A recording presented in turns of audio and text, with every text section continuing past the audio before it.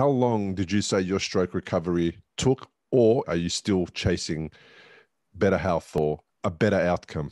What's that like? I, think I think you're always recovering. Uh, there's there's certain things that I know I can't do, um, but like you say, life gets in the way. You know, the way I look at myself right now is I'm a million dollar woman. Um, I've got um, a pacemaker. Uh, I broke my hip and had a hip replacement. so my husband told me that I was a high maintenance woman, and he said, "Why don't you just go to the store and go shopping?" Do something low risk. Exactly. This is the Recovery After Stroke podcast with Bill Gasiamis, helping you navigate recovery after stroke.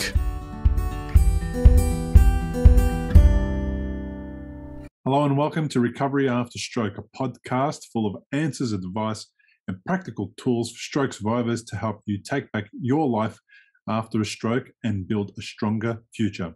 I'm your host, three time stroke survivor, Bill Gasiamis. After my own life was turned upside down and I went from being an active father to being stuck in hospital, I knew if I wanted to get back to the life I loved before, my recovery was up to me. After years of researching and discovering, I learned how to heal my brain and rebuild a healthier and happier life than I ever dreamed possible. And now I've made it my mission to empower other stroke survivors like you to recover faster, achieve your goals, and take back the freedom you deserve. If you enjoy this episode and want more resources, accessible training, and hands on support, check out my Recovery After Stroke membership community created especially for stroke survivors and caregivers, this is your clear pathway to transform your symptoms, reduce your anxiety, and navigate your journey to recovery with confidence. Head to recoveryafterstroke.com to find out more after this podcast episode. But for now, let's dive right into today's episode. This is episode 155, and my guest today is Jo Ann Glim. Jo Ann experienced a hemorrhagic stroke aged 52 and wrote her book, Trapped Within, to help other stroke survivors. Jo Ann Glim, welcome to the podcast. Thank you. My pleasure. Thank you for being here. We finally made it. We had one attempt a week ago, and it just goes to show you that if at first you don't succeed, try, try again. That's right. Absolutely right we, we learned that through having strokes. You never give up. Exactly right. And we weren't going to let technology get in our way of catching up. That's right. Jo Ann, can you tell me a little bit about what happened to you? Um, I was 50 years old. And I take that back. I was 52. And um, my husband and I had just moved to Florida. Um, he had retired earlier that year. And um, so we, we had known all along we wanted to move to Florida. We just could not take those cold Chicago days anymore. Mm-hmm. And uh, so we did. And for six months, it was wonderful. We'd get up in the morning and say, okay, well, what are we going to do today?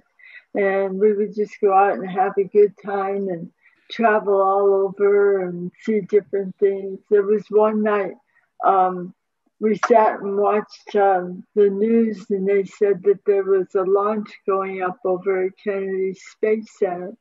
And that's on totally on the opposite side of where we are. We're on the Gulf side of Florida, and this was on the east side. Well, Florida is so narrow, it only took us an hour and a half. So we laid down, took a nap, got up around 10 o'clock, drove over there, found a place to park. 20 minutes later, this amazing rocket took off. And the, the sky looked as bright red as my background. And uh, the earth shook under our feet, and we said, wow, and it was gone, and we came home. But those were the things that we could do that we looked forward to doing for all these years. Well, then in February, we decided that maybe we need to start getting back into the routine of a real life again. And I had worked for Kelly Services for um, 16 years. Uh, started off just as a file clerk, took all their classes and worked my way up to management and spent about nine of the 16 years working as an on-site supervisor at uh, Baxter Healthcare, which I just, I loved the whole experience. And so, um, anyway, when I was down here, um, I took a, a one-day assignment and um, and got over there in the morning and I was ready to go and kind of going through my checklist of everything I needed to do. And uh, by noon, um, the uh, woman who had that position had forgotten to order the sandwiches for this conference room where there was about 12 or 13 people. I said, oh, don't worry about it, I'll go take care of it. So I did and went down to this place that they usually use. Um, I really kind of coerced the guy into doing all these lunches because it was last minute. You coerced and, him uh, to make lunches. Wow, that's terrible. but got down there and uh, uh, I sat and waited for him and watched all these boxes piling up and went up to pay him and I asked him, How much do I owe you? And he came out sounding like Russian. And he was from another country, and he just looked at me like he thought I was making fun of him. And I felt bad about that. So I swallowed hard and I asked again, and it sounded just as bad. So I just handed him the uh, credit card and I took a, a, a box uh, with me a couple of boxes and started to walk out to the car. And I felt my legs turn to jello. And I just I sat there and just willed myself not not to fall. And um, not that you can do that. The stroke is always going to lead whatever you do, but you, you think you can. You couldn't convince your stroke to not to stop you from falling. That's interesting. Exactly. Yeah, yeah. I thought I was, but I learned a lot. yeah. So, so anyway, I got up to the car and someone else had brought all the other sandwiches and put them in there. I knew I couldn't talk to him, so I just blew him a kiss and off I went. Well, I found that with my right hand when I was trying to drive back, and I was working at Tropicana for the day and if you like orange juice, you know, Tropicana. And so I was driving back over there and I kept putting my right hand up on the steering wheel and it kept falling off down onto the seat of the car alongside me. And no no willpower was getting it to do anything except that. So I, I drove along. I'm always one, especially in a crisis situation, that I try to plan, you know, two or three things. If this doesn't work, how about this? If this doesn't work, how's this? You know, and there had been a flea market that was absolutely huge that had burnt down. And I mean, it was just ashes. And uh, so I thought, well, it was on the way back, and I thought, if I if I do get worse, I'm just gonna pull up into that field and eventually somebody will find me. And so, but I didn't need to do that. I made it back to Tropicana. And when I walked in there and, and I knew I was really very seriously ill and, in my mind I knew I had had a stroke. And the only thing I wanted to do was to be able to tell my husband one more time that I loved him before I died, because I knew I was going to die. My mother had passed away from a stroke when I was 14. And so I didn't see any possibility of living through this. That's just the way strokes happen. So I called my husband and um, he answered the phone and I tried to tell him what was going on, and there was this long pause. And finally, he said, I'm sorry, but I think you have the wrong number. And I just burst into tears, going, No, I've got to tell him, I've got to tell him. And so the only thing I could get out was October 19, which was our anniversary. And so uh, he went inside and he was, What's wrong with you? And all I could say was, I'm sick. And I hung up. And I went to the hospital. Of course, I looked around and there's all these people at lunchtime. They're walking back and forth because they're coming in from lunch. And the car was out in front and the motor was still running. And I tried to convince myself it would be a good thing to call 911. And I decided I don't like doctors. I just don't like doctors. And so I chose plan B and got in the car and drove myself the extra maybe 10 blocks to the hospital. And when I got over there, I drove into the parking lot and there was no place to park. I mean, the place was full. So I parked in a place for ambulances. And by this time, my mouth is drooping. I didn't know if I'd be able to walk or not. And there's this man that came up on a golf cart. He was security. And he came up on the golf cart and told me, I'm sorry, man, but you can't park there. And I looked at him and I said, I think I'm having a stroke. And he looked at me and he said, Don't worry about your car. I'll keep an eye on it for you. And then he puttered off. And I'm going, be nice if you help me oh, into oh, jeez. Wow. I got myself out. Well, by this time, my shoulder is drooping. I'm limping. My mouth is to the side.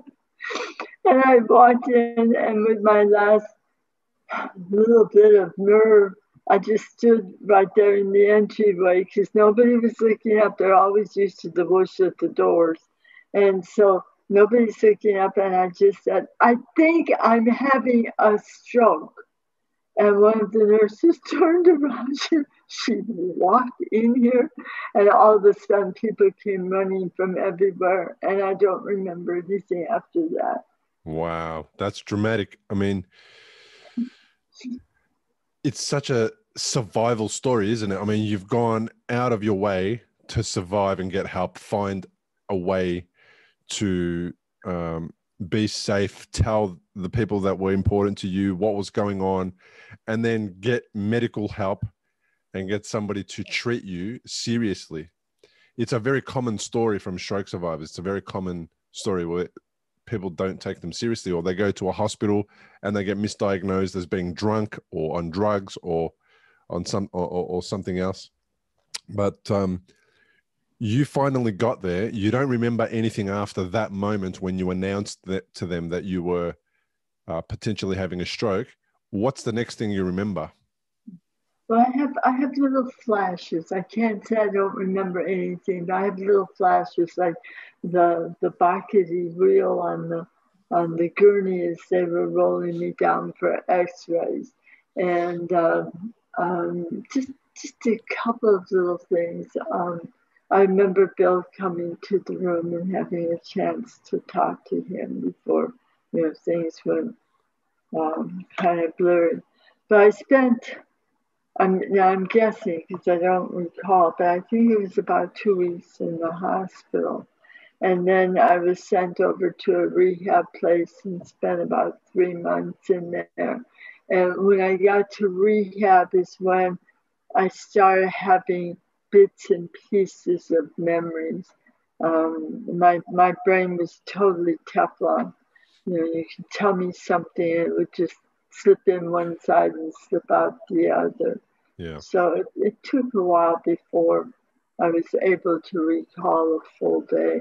Yeah, I had um, a very similar story to you. Your your getting to the hospital story was very interesting. So I had a, a bleed in February of 2012, and then I had a bleed um, six weeks later. And then I had one in November of 2014. So in the three, almost three years between the first bleed and the second bleed, um, I experienced different versions of uh, stroke. And the second version, the second bleed, meant that I didn't know my name when I got to hospital. I didn't know uh, who I was. I, I, remember going there with my wallet to try and tell them I need help. My wife had dropped me off, um, and we were talking in the car minutes minutes earlier with no issue. And then by the time I walked the 100 yards to get to the uh, emergency uh, screening area, I, I, didn't know who I was. And then I remember waking up a little later on, and my wife was at the end of my bed, and I didn't know who she was. I didn't recognize her. Mm-hmm. Um, that was that time. And then the second, the third time, I was um, in our central business district here in Melbourne on some business, and I started to notice the the burning sensation on my left side, and I figured that it was a stroke after doing some things that were quite strange. I got out the car, I walked around the car to make sure that this thing, whatever it was, was going to go away. It didn't. So I jumped back in the car and then I drove myself to the hospital. There was nowhere to park, so I parked in an illegal spot. I rang my wife on the mobile phone and told her on the cell phone and told her uh, I'm on the way into hospital right now. I'm feeling unwell etc. And then I got to emergency and I went to emergency and I said to him, I'm having a stroke. Get me into the get me into the uh, x-ray right now or something like that. And of mm. course they didn't believe me because nobody does that. People don't just turn up and tell them what condition yeah. they have and how to deal yeah. with it. So they finally worked it out and they got me through into x-ray or into CT, I imagine. And when we got into the CT scan area, usually there's one or two radiographers that are, ha- hanging around there to take the photos. This time, the the glass room behind the scanning room was full of people. Everyone came to have a look and see who this weirdo was that turned up to say, "I'm having a stroke." Um, so I can really relate to that survival story, that part of you that is just I don't know what was it like for you. For me, it was like it was. I don't know. It was whether it was instinct or I'm not sure how to describe it, but there was nothing going on other than something mm. else was pushing me to mm. overcome all of the neurological condition, the barriers, everything that was happening, the cognitive issues that I was having. Somehow, I drove myself to a hospital while I was having a stroke. Yeah, don't do this. Don't do this yet. If you can avoid doing this, do not do this. Just ring emergency services 911 in the US, triple zero in Australia, whatever it is in, in the other country. What was what how do you describe that journey? Is it like I said it or is it different? Um there was no fear. I wasn't um I wasn't scared. I knew there was something that needed to be done and had to be done right now. And there was nobody else to depend on except myself. So I just, I felt that I was thinking very logically and very clearly. Um, obviously, driving yourself to the hospital is not a clear way to think, nope. not in that situation. And a lot of people, I'm sure, do that. Um, but but you and I can attest to the fact that that's just not the best thing to do. Well, it's really dangerous because you can have a stroke and die while mm-hmm. you're on the way because there's nobody to treat you, and you can have a car crash and you can injure or kill somebody else on the way to trying to get help for yourself. So it is the worst thing to do. But I was I was so unaware of anything else. Like I said to you, something else kicked in, and I had no concept of what's right, wrong. I just needed to get help that the best that I could. And believe it or not, the best way that I could wasn't to pick up my phone and look up at the street sign which I was under and tell mm-hmm. the ambulance that I'm under this street sign and mm-hmm. I'm having a stroke and I'm in my car. That was mm-hmm. not going to be that that did not occur to me. And that ambulance being in the central business district is not far away. It'd be minutes away, if anything. Mm-hmm. But I just couldn't do it. It never occurred to me. So mm-hmm. I was driven by another another I have to say instinct. I don't know what the word is. I was driven by something else to get to that particular location, which was a hospital. Well, I think it sounds like you're very similar to me. We're independent people. Hmm. We've been driven all of our lives to make decisions and to make choices and to do it wisely. And this was just another situation where, okay, we've got a real serious problem here. Let's take care of it as quickly as possible. Yes, you know, let's solve the problem.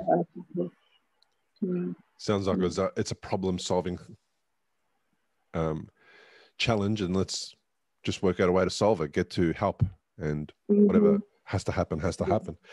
Um, you're so you were 52 Yes. And you you think you woke up about two you think you got out of hospital about two weeks after your uh, situation occurred. What kind of stroke was it? Uh, it was hemorrhagic. Um, it was uh, left side so i was paralyzed on the right. Um, it uh, was in the thalamic area of my brain which um, i happen to be a teetotaler um, the most I have had to drink in my whole life was half a slow gin fizz when I turned 21 because that was a rite of passage to have a drink on your 21st birthday. Found I did not like the taste of it or anything about it. But um, with this happening in the thalamus, the thalamus is like a one sized gland within your brain and uh, it's on both the right side and the left side. And it's also the area that controls your inhibitions.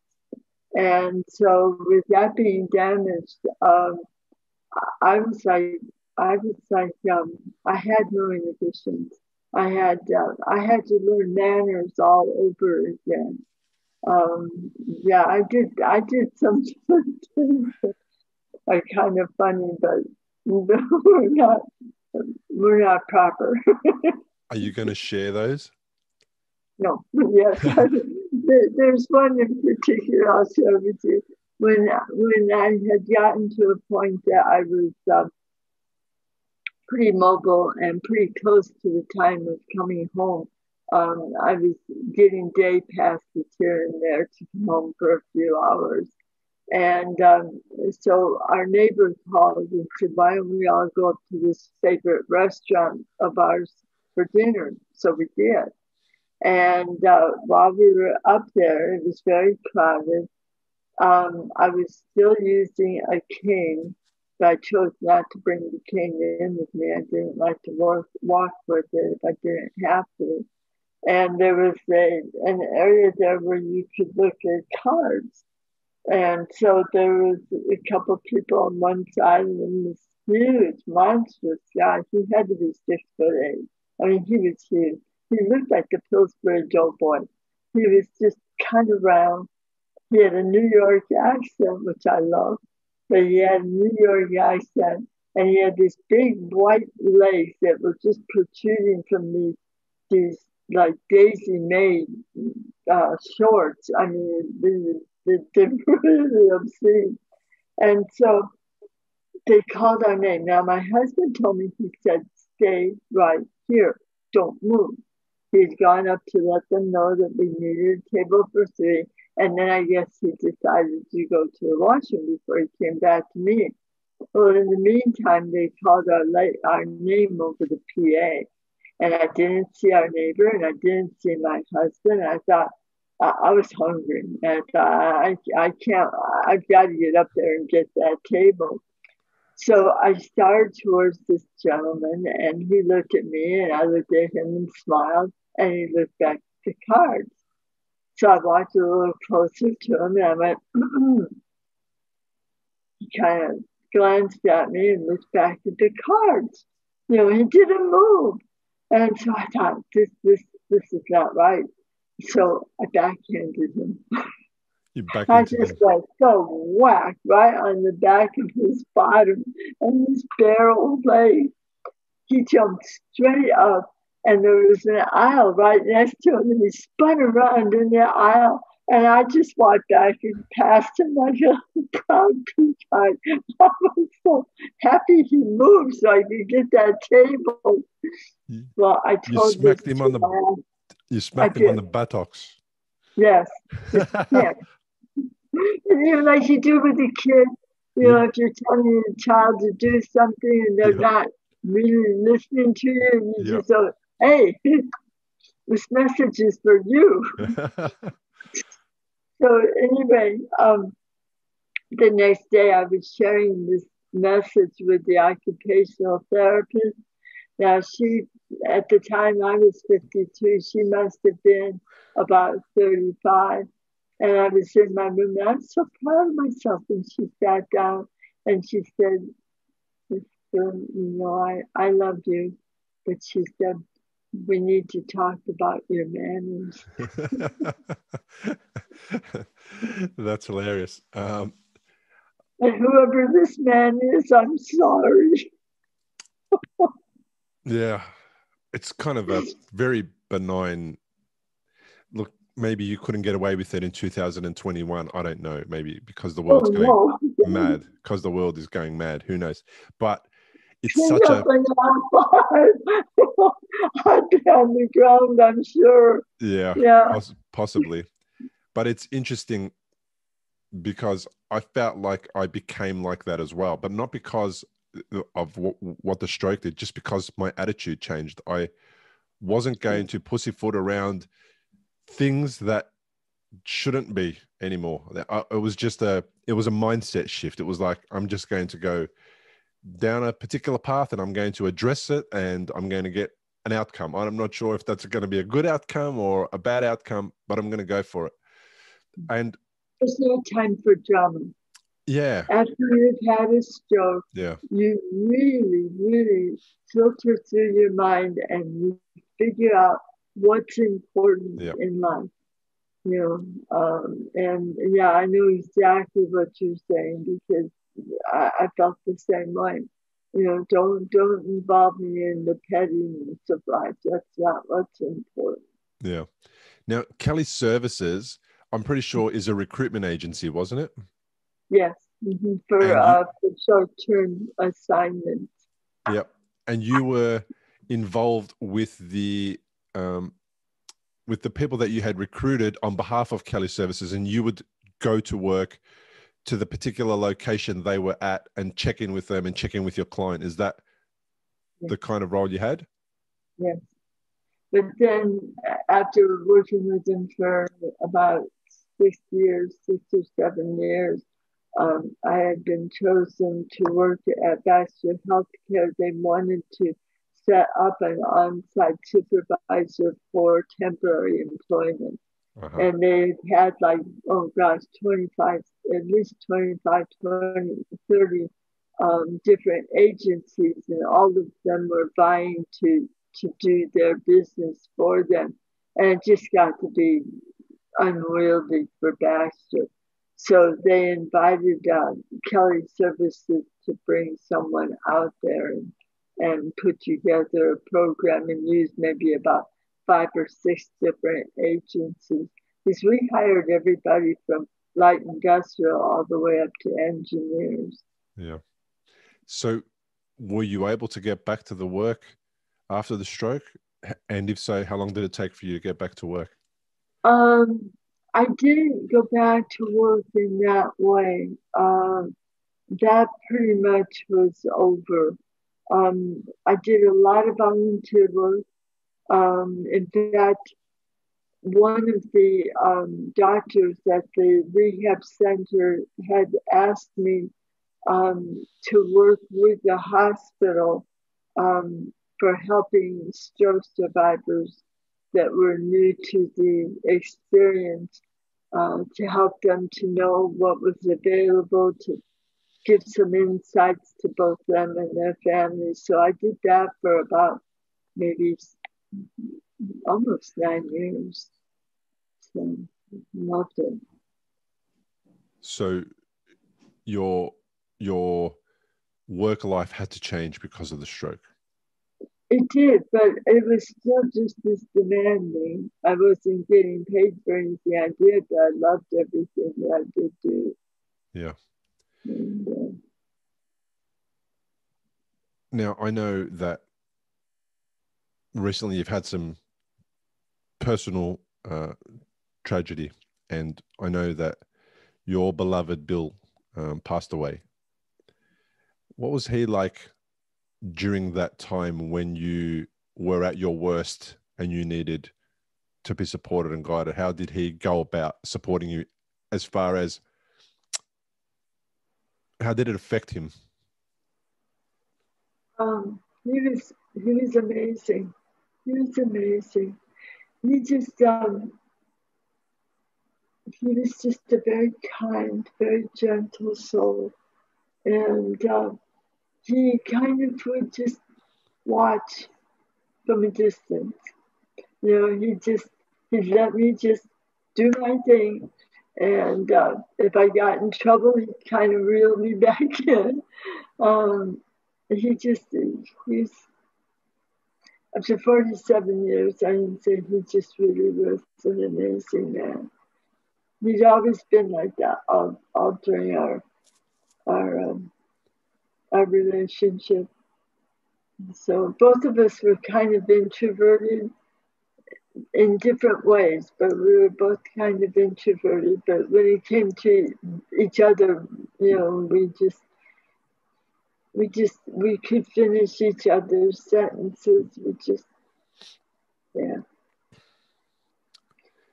Stroke.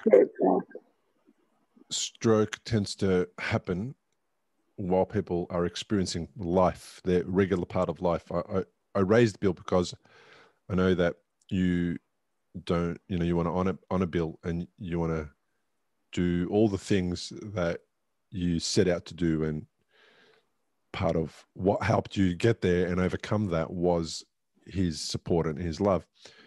I also wanted to raise it because a lot of stroke survivors will have a massive stroke, a dramatic experience with their health, and then they'll recover part of the way, and then life will happen in between. They'll lose a loved one, or um, often somebody else they know becomes unwell, and it doesn't life doesn't go, get to go on pause so you can do the stroke recovery and then once you're recovered you can go back to life. You you were 52 at the time. How old are you now i'm 77 if you've had a stroke and you're in recovery you'll know what a scary and confusing time it can be you're likely to have a lot of questions going through your mind like how long will it take to recover Will I actually recover?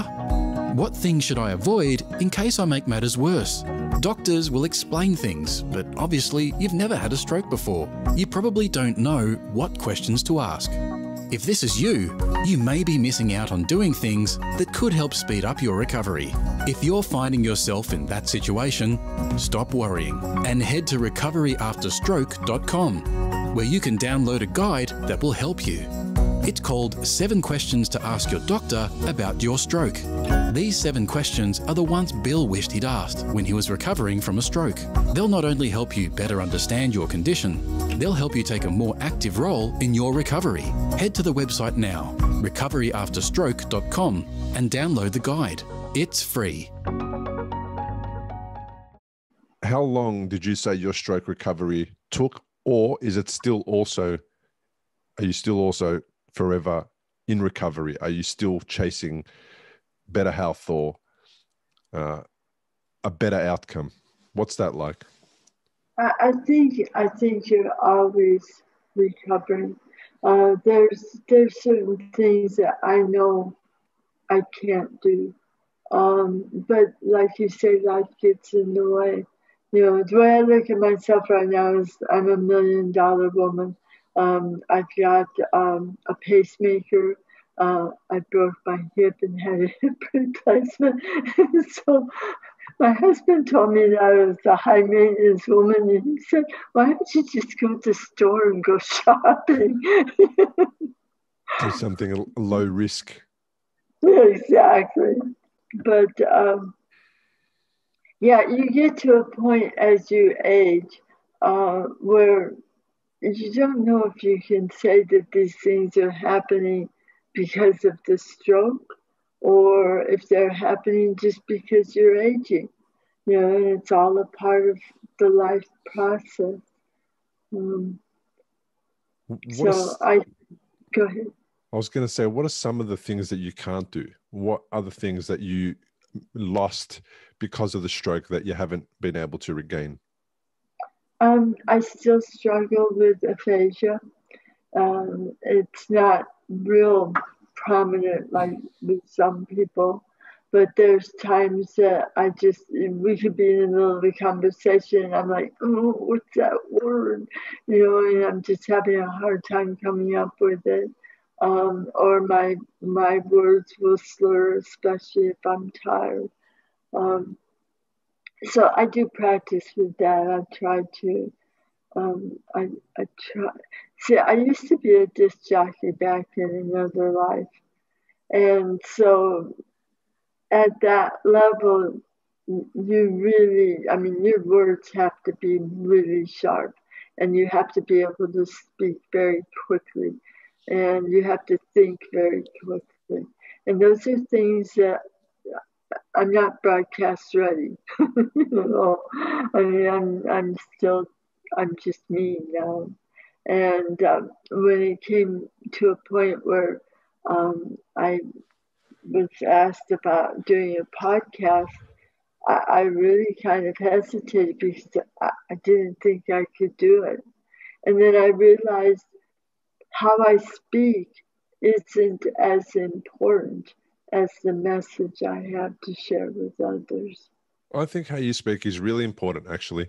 I, I actually um, enjoy it when I get aphasia. Um, I'm going to call them warriors, aphasia warriors on the podcast, because what it does is it encourages other people with aphasia to get on a podcast or do something that is so global, right? It's potentially going out to millions of people forever.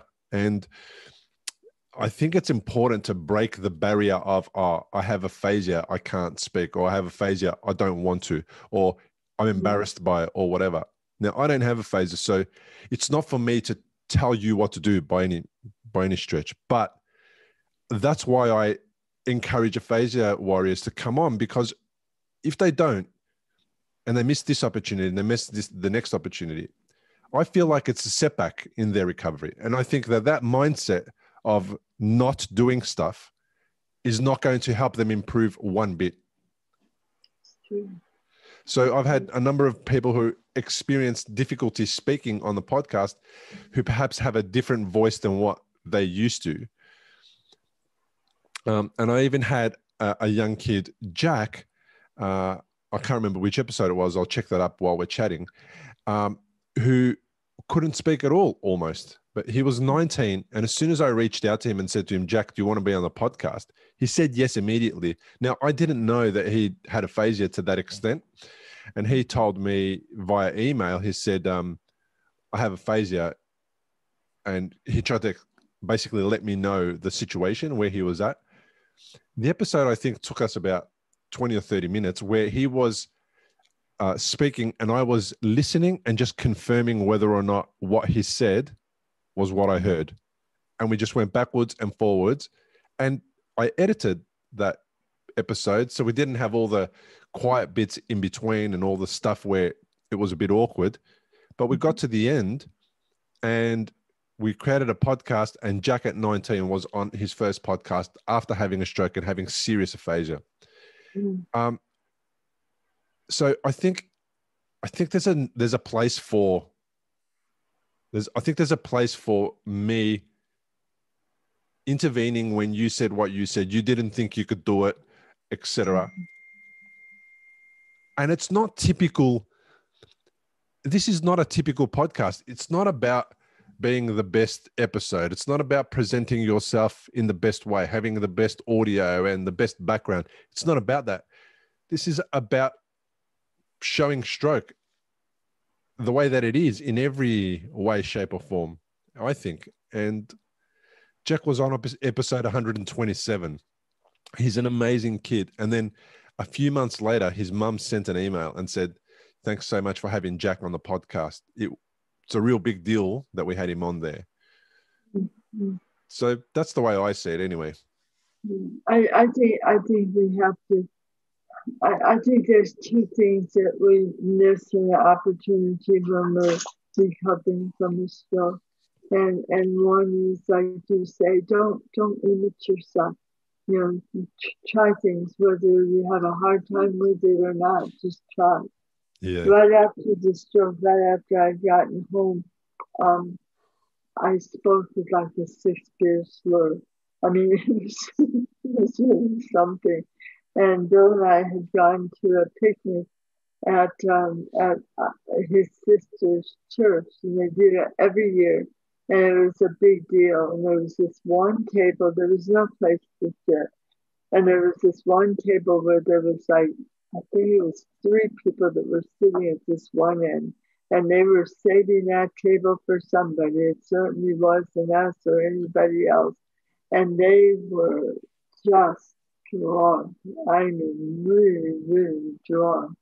And I was having a hard time standing. I was, I was feeling very tired, and I knew I either sat on the chair or I sat on the ground, but I was going to sit. I didn't have a choice in that. And so I walked up to the woman that was there and asked her if she minded if I sat there and when she heard my slur that was just as bad as hers, she put her arm around my shoulder. She said, Tell the rest of your family to come on over. so you never know where it's going to lead you. And that was the other thing that I wanted to mention. As traumatic as a stroke is, and as devastating as it can be, and the work you have to do if you want to come back. And sometimes, unfortunately, some people have damages that cannot be repaired. And, and we have to respect that they are where they're going to be. But the thing is, is that no matter what the situation is, you can always find him. Yeah. I, I agree with you. And um, on episode 133, I interviewed Duncan Campling, and Duncan was uh, a locked in syndrome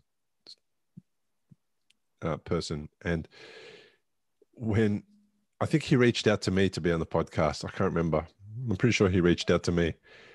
And again, I didn't know his condition. I, I never know anyone's condition really. And then when Duncan decided to come on board, uh, and do the interview, he actually couldn't speak at all. He was using a machine to speak. Mm-hmm. Uh, re- pre-recorded one of those computer-generated voices, where he would punch the words into a keypad, and prepare. He prepared the sentences to questions that I sent him previously, so that when I spoke about it in episode 133 and asked him the question, he just pressed enter and he gave me the answer to the question that I was going to ask.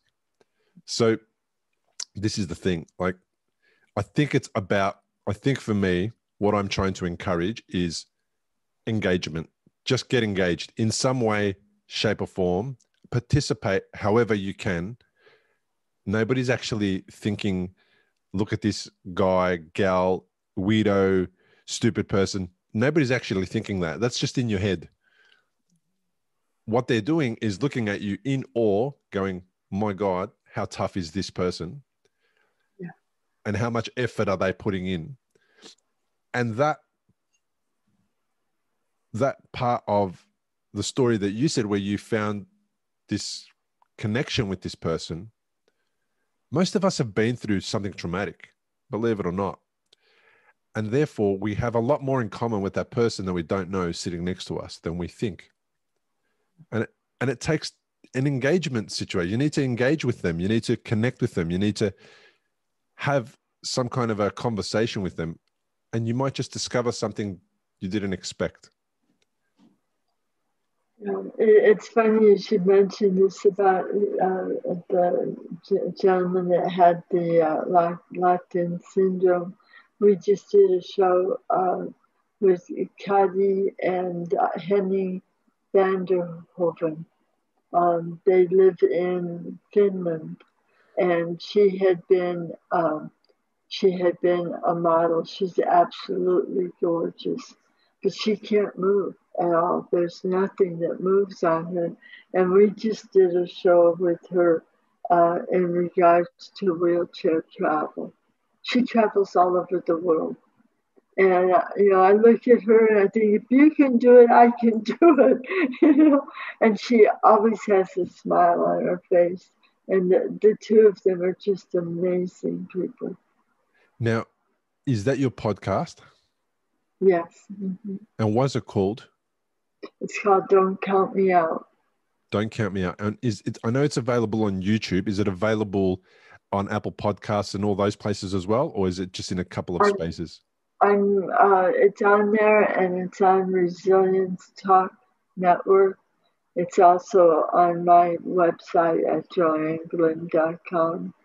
Um, and I am going to uh, see if they'll accept me on Apple sometime either this weekend or next week for sure. Fantastic. So, anyhow, I will make sure the links that we do have, wherever it is available at the moment, I'll make sure that we link our podcast uh, show notes to that. So, anyone who comes along who is interested can find it there. Um, now, you also wrote a book. I did, yes. Now, how long ago did you write that book? Um, and tell me what it's called. it's called Trapped Within. And um, I wrote it probably four months after I had the stroke. Wow. And you were, t- because I really felt uh, like what I read about you, how there wasn't anything that we could find to help get through. Once you were once you were past the hospital and uh, uh, the rehab, um, and they deemed that you were miraculously cured, you were on your way, and that was it. And so, for you to find things to do that would help you, it, it was difficult to do. And the other thing that I wanted people to realize is that there's certain stages that you go through in the process before, you know, I mean, we can sit here and talk and, you know, kind of laugh about some of the things that happened to us. But in the beginning, um, I know for myself, I had a lot of the doctors and stuff that were trying to prepare me for a life of living in a wheelchair. You know, you may never walk again, you may never do this, but you're still you. I heard that so often. In fact, I wrote a whole chapter about that because don't don't call me, don't tell me that I'm still me. You know, I can't garden. So don't tell me I'm still me. No, we're good. I, I thought I lost you there for a moment, and uh, you're back. So yeah, mm-hmm. So go again. Uh, you can't garden. Yeah, I, I couldn't garden. I couldn't.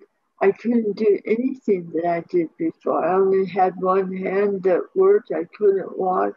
My eyesight was impaired. You know, so don't tell me I'm still me. You know, I used to ride horses. I was learning how to jump. Um, you know, there was a lot of things that I did. I was very physical, and um, I couldn't do them anymore. Yeah, your You know, identity so- gets challenged dramatically. And if your identity Yeah. is wrapped up, which for most of us, it's wrapped up on the things we do daily, if we can't do them again, there is a real Yeah. crisis there. It's like, okay, so what do I do? What am I? Exactly. I'm not doing anything. I'm not going anywhere. I'm not myself. And you need to learn how to get beyond those feelings at the beginning and rediscover yourself or recreate yourself. How would you put it? I, I would say recreate. And um, the reason that seems to be more appropriate in my mind is because we recreate ourselves all the time. And ever since we were very, very young, we're always learning new things, we're always trying new things. And for some reason, some stroke survivors get stuck on wanting to be back to who they were and where they were. And, and they w- wouldn't, in my estimation, be there now 10 years later anyway. They would have moved on, they would have found new experiences and new things to do. So I think if we can kind of open that door and, and let ourselves walk through it or wheel through it if we have to, but get through it somehow, we might find that we may not be the same, but we may be better. That's profound. What you just said is profound. That if we go back 10 years before the stroke, we had things we did which we'd no longer do, which were taken away from us either by choice or by circumstances or by other situations. And yet we didn't stay stuck in the moment of, oh, I want to go back to those days where I was, I'm not sure what it was, you know, knitting or whatever it was. And now I can't do it. So my life is over and everything is terrible. Um, I, I love what you said that that that's a really profound statement and I've never thought about using that uh, uh, in that way and explaining it in that way. Um, so you rediscovered yourself. You found that there was things that you couldn't do, and then how did the evolution occur? I, I imagine it happened sometime after you went home from rehab, etc. How did that Well, evolution occur? Well, one of the things, because my walking was very, very bad, but by the time I got out of rehab, I was back to walking supposedly with a cane. I usually use my husband's uh, arm instead of a cane, but uh, and then I would always leave the cane in the back seat of the car. You know, I just happened to forget it, but I didn't walk real steady, and I had been a line dancer um, before I had my stroke. And so my sister-in-law, because you know you can hang on to somebody's arm, or you just have certain steps you do, and you you learn those.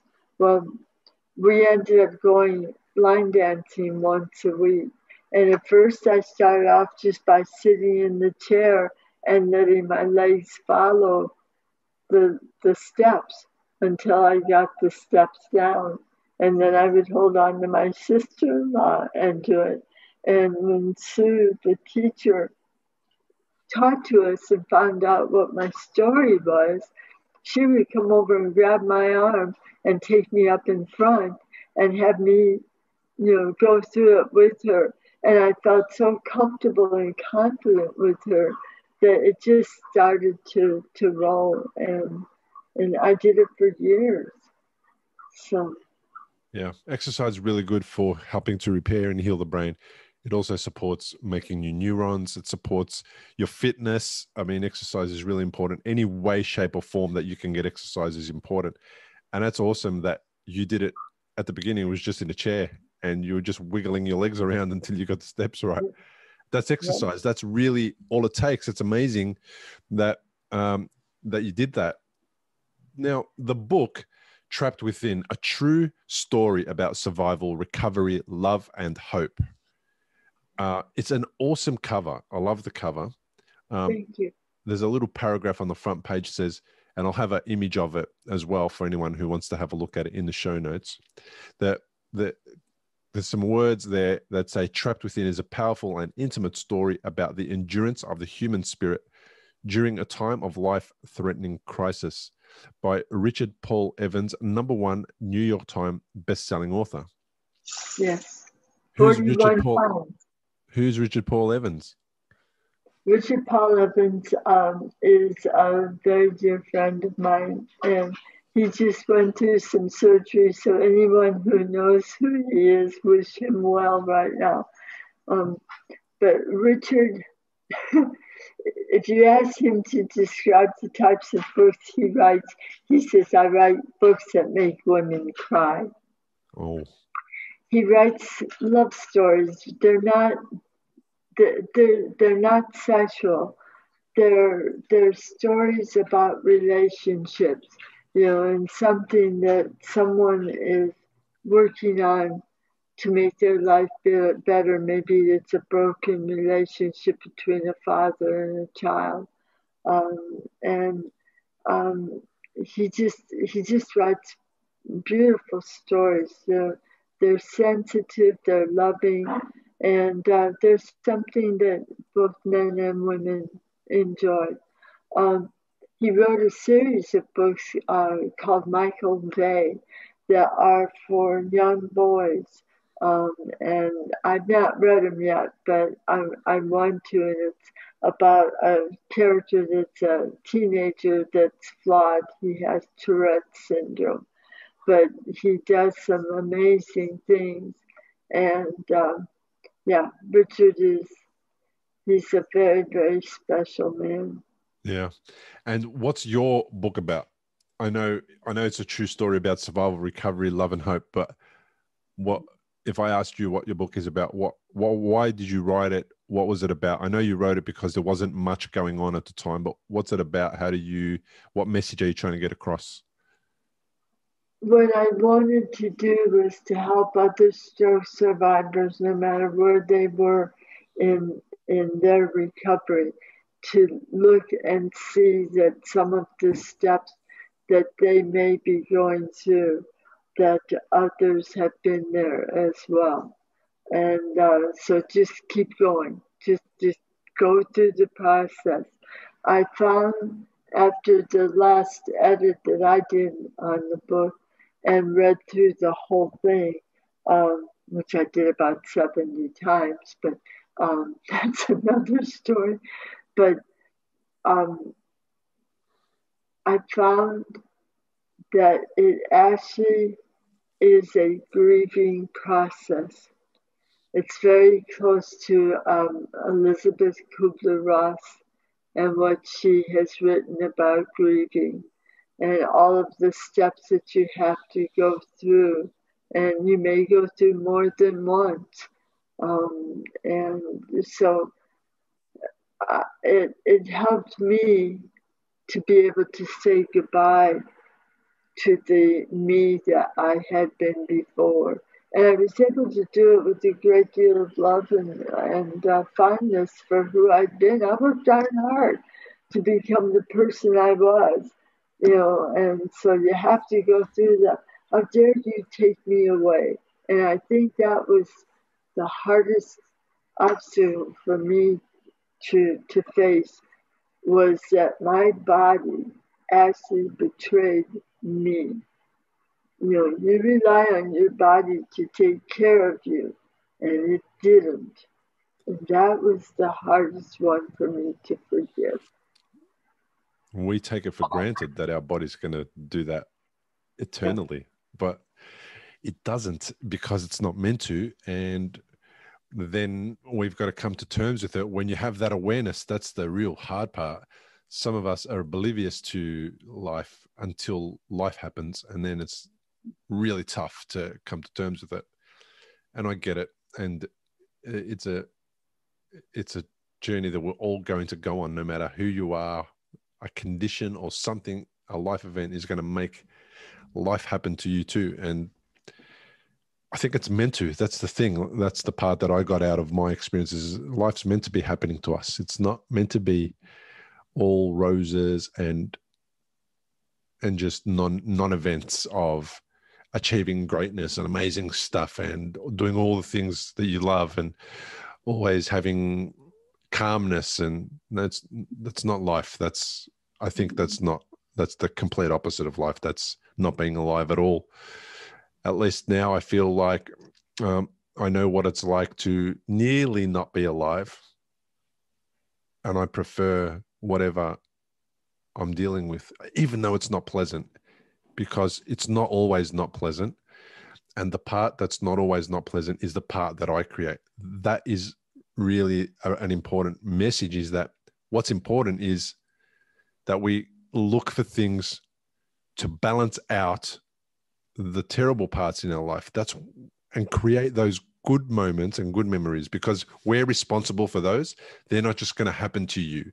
It's very rare that somebody is going to turn up and give you the amazing experience that you want exactly the way that you want it. You have to create that. That's our job. Our job is to create balance between the things that happen to us that we can't control, like life, and flip it so that the balance is in the favor of the good things. So that when terrible things happen, we can deal with them quite easily. Does that resonate? Absolutely, yeah, and, and and I also think I don't think people gain compassion without having challenges. Uh, how how would you ever know what compassion is? Mm-hmm. You know, you wouldn't recognize it if it passed you on the street. Yeah. If you hadn't uh, hadn't experienced something devastating in your own life.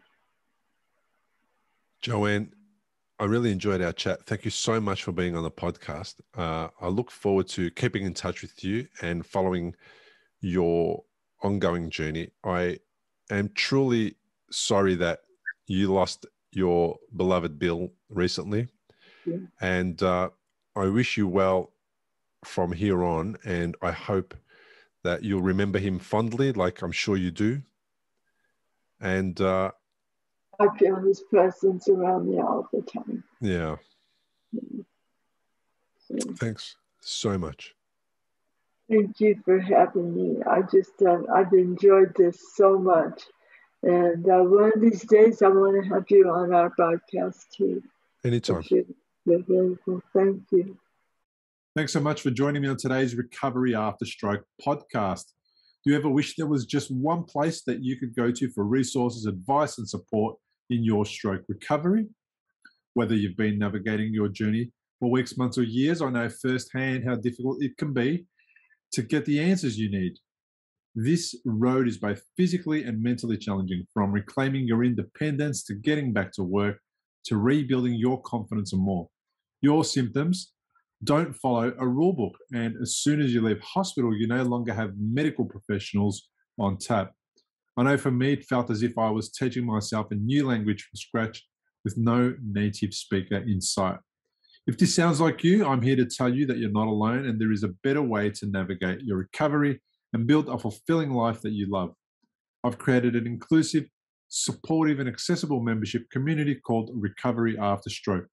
This all in one support and resource program is designed to help you take your health into your own hands. This is your guidebook through every step in your journey, from reducing fatigue to strengthening your brain health to overcoming anxiety and more.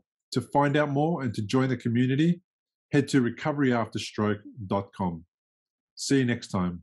Importantly, we present many podcasts designed to give you an insight and understanding into the experiences of other individuals. Opinions and treatment protocols discussed during any podcast are the individual's own experience, and we do not necessarily share the same opinion, nor do we recommend any treatment protocol discussed. All content on this website and any linked blog, podcast, or video material controlled this website or content is created and produced for informational purposes only and is largely based on the personal experience of Bill Gasiamis, the content is intended to complement your medical treatment and support healing. It is not intended to be a substitute for professional medical advice and should not be relied on as health advice. The information is general and may not be suitable for your personal injuries, circumstances, or health objectives. Do not use our content as a standalone resource to diagnose, treat, cure, or prevent any disease for therapeutic purposes or as a substitute for the advice of a health professional. Never delay seeking advice or disregard the advice of a medical professional, your doctor, or your rehabilitation program based on our content. If you have any questions or concerns about your health or medical condition, please seek guidance from a doctor or other medical professional. If you are experiencing a health emergency or think you might be, call triple zero if in Australia or your local emergency number immediately for emergency assistance or go to the nearest hospital emergency department. Medical information changes constantly. While we aim to provide current, quality information in our content, we do not provide any guarantees and assume no legal liability or responsibility for the accuracy, currency, or completeness of the content. If you choose to rely on any information within our content, you do so solely at your own risk. We are careful with links we provide. However, third party links from our website are followed at your own risk, and we are not responsible for any information you find there.